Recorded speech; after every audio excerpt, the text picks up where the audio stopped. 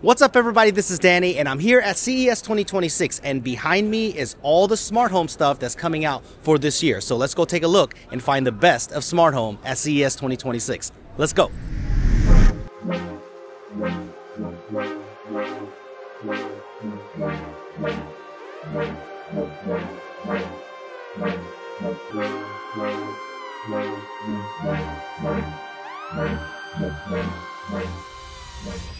The first place I stopped by was a channel sponsor Aqara's booth. A lot of companies were showing off robots to be flashy and demoing solutions that will probably never come to market, but Aqara was all business with products that are ready for your home now. The first thing I saw was the new Thermostat Hub W200. This has a 4-inch touchscreen and acts as a Matter Hub and a millimeter wave presence sensor. This also has support for Apple's new adaptive temperature feature with clean energy guidance, and it works together with the new G400 doorbell while it will show you who's at the front door, which is nice, and you can lock and unlock your Aqara locks directly from here, which is awesome, with no subscriptions or any of that mess. The star of the show was the brand new Aqara U400 lock. This lock uses ultra wideband technology, so as soon as you approach the door, it will unlock it for you, so this is hands-free, the fastest and most convenient way. This also supports Apple HomeKey, so you can unlock directly through your iPhone or Apple Watch. But on top of that, this already supports the Alira protocol, so they demoed how this will work with Samsung Galaxy phones as well, which I think is incredible. Of course, you can enter a PIN code if you want, there's a fingerprint sensor there too, with matter over thread support and IP65 waterproofing, I think this is one of the best locks that you can buy in 2026. I am so excited to install this. I have this waiting for me at home. The Camera Hub G350 gets a major boost with 4K resolution and 9x hybrid zoom. It pan and tilts for 360 degree coverage and it's a Zigbee and Matter hub for other devices, so I love how you can do different hand gestures like an L or a peace sign to trigger certain automations, which I think is really neat. The last thing I looked at was the multi-state sensor P100. You can use it for doors without needing a separate magnet, so that alone makes it so versatile. They demoed where you can put this on a picture or something valuable and it will sound the alarm that is on the home station M410. This is small enough to put inside of a mailbox like this since it detects vibration as well so you can get notifications when your mailbox has been opened or closed. After walking around experiencing all of this, this booth really impressed me. I am convinced that Aqara is the smart home company that everyone needs to know about, from simple and easy automations that you can build in the app to complex ones using Aqara Builder. They really have an ecosystem worth checking out. So I will leave a link down below so you can check out all the details about all of these new products released at CES 2026. I am for sure getting some of these at home, so make sure sure that you subscribe to see more Aqara products here on the channel.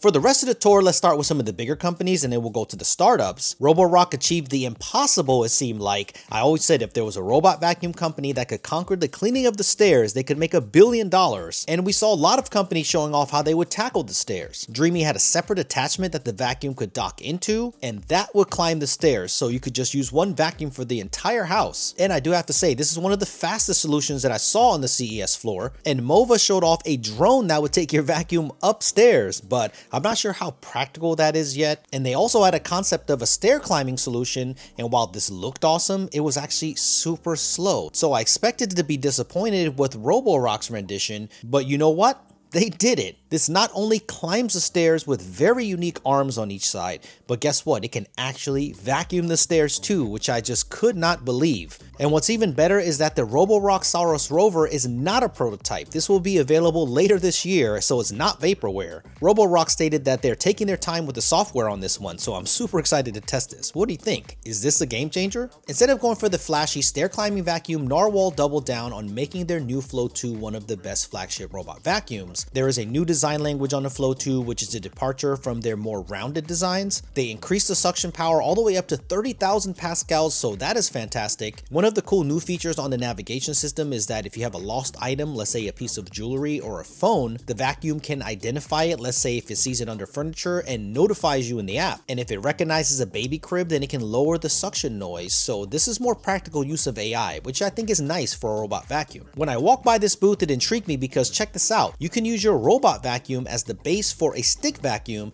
and I've never seen this before and I thought it was clever. Look at how easy it was just with the stick portion into the robot vacuum itself, and it looked more nimble than I thought it would be for this form factor. So what do you think? Is this genius or would you just rather keep them separated? Dreame absolutely decided to go for every company out there and I've never seen anything like this at CES. I feel like they went after Samsung and LG by announcing refrigerators that dispense custom carbonated water, stoves, kitchen appliances, air fryers, washer and dryer dryers with robots that swap out the laundry, high resolution TVs. I mean, I thought this was a vacuum company. They even announced a car concept, which again just blew my mind, but they did show off their new flagship wet dry vacuum and it worked incredible. I was able to put down oatmeal and ketchup all over the floor and it was able to clean all of it up in a single pass. So I can't wait to get this one at home. They had a robot vacuum that had a steam mop built in, which I've never seen before. And the new X60 Ultra is very thin and it also has a new navigation system that responds to objects even being thrown at it in real time. And it also has a whopping 35,000 pascals of suction power. So Dreame is the company to look out for in 2026. They even made 8K action cameras coming after DJI and Insta360. Seriously, they went absolutely bonkers at the show. Samsung finally announced a new robot vacuum and it's powered by the new Snapdragon processor, which is unique. This is finally a modern release and I'm looking forward to it. And the suction power is so strong that I was able to lift a 10 kilogram dumbbell. So let's see how this compares to the competition later this year. They also added Gemini to the Family Hub fridge, so this will help overall with regular day-to-day -day questions, but where Gemini really helps is in the food recognition. It raises the fresh food count from about 37 recognized to thousands of items, which really supercharges the AI camera inside. At CES, I removed this bag of cheese and it read the label and it also recognized it as Kraft shredded cheese. So the recognition is about to level up. What's awesome is that this software is retroactive. So if you already own a Family Hub fridge with an AI camera inside, you will get this through a software update, which I respect. And this model also was able to close the fridge door on its own. Check it out. Close fridge door. Sick. I really really am looking forward to this. LG also had a new signature fridge with a color touchscreen as well, but it also has that knock knock feature which allows you to see through the fridge which makes it stand out. But check out the way that the doors open, there's a light on the floor and when you step on it, the doors open quickly, so this is unique. And when you hit this button on the touchscreen, the freezer door opens too, so this will definitely make us all lazier in 2026. What do you think about it? SwitchBot also had some interesting stuff at their booth as well. They did show off a home robot, which looked really cool, but I do have to admit it was pretty slow. But this is just for exhibition. It took some clothing and moved it into the washer and then closed the door. After all of the robots that I saw at CES, I honestly don't think we're more than five years away from having this a reality in our actual home. They had Ace Mate, which is a tennis robot, and it was really fun watching this. It was way more accurate than I thought it would be. First thing I saw in the booth was this little furry thing thing and this is supposed to be more of an emotional smart home pet. You can pet it and have it as an everyday companion.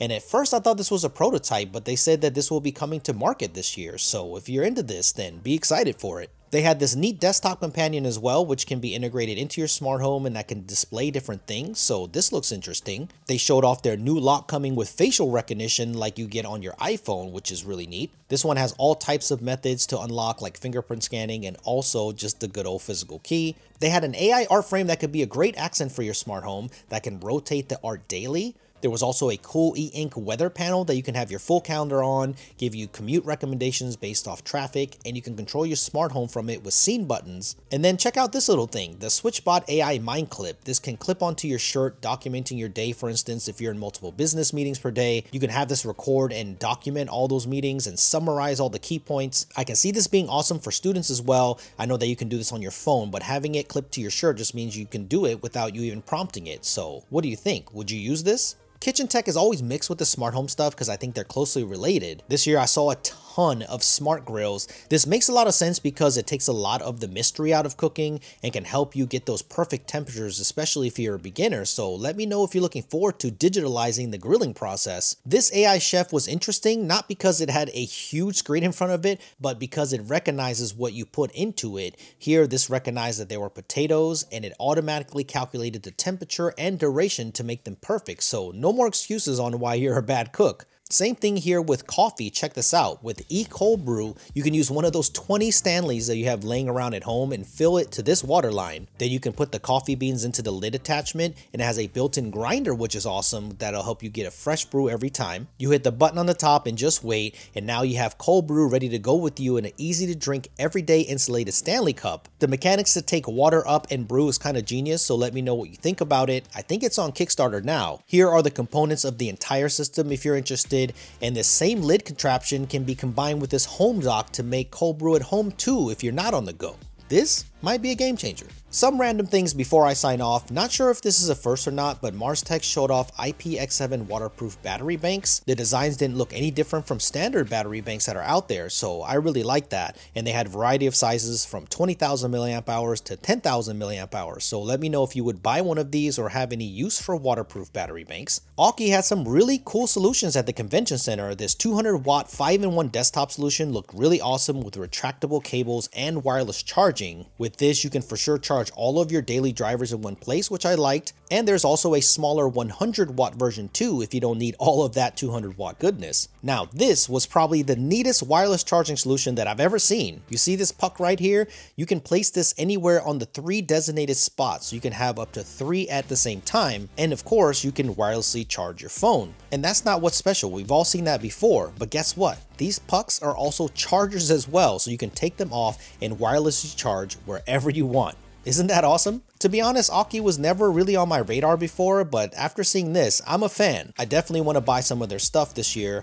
Rounding it all out, if you're a fan of robot lawnmowers, then there were a ton of them, and almost all of them, they added the most important thing, and that is LiDAR, which is going to make them significantly better. So you should see this spread more across all lineups from all companies soon. Of course, Roborock took their flagship over the top and put a suspension on it that looks like it belongs on a four-wheeler, and they showed it going around a racetrack with simulated hills which it handled with no issues. So CES is an absolute wild place for smart home. You never know what you're going to see.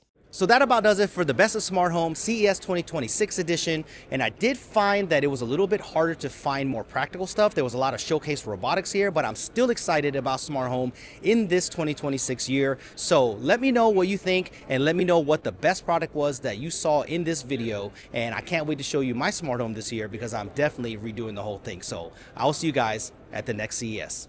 Peace.